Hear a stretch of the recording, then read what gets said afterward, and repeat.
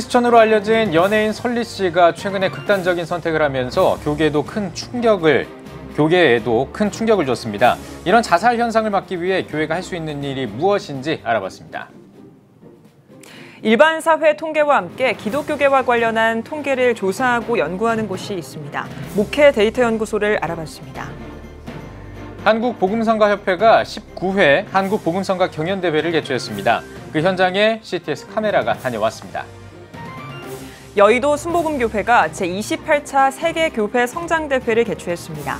조용기 원로 목사는 이 자리에서 기도의 중요성을 강조했습니다.